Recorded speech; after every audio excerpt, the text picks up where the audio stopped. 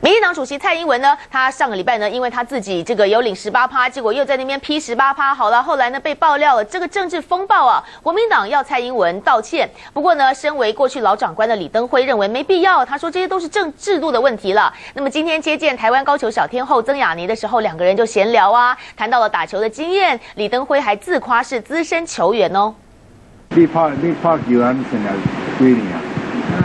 呃，十六年啊。十六年比我较短咧吼。哎，啊，我拍球四十年啊吼。以资深球员的身份，前总统李登辉宴请高球小天后曾雅妮，两人一见面就是一阵闲话家常。然后，今仔日你有机会要来找我，好，谢谢哦，哦不得了。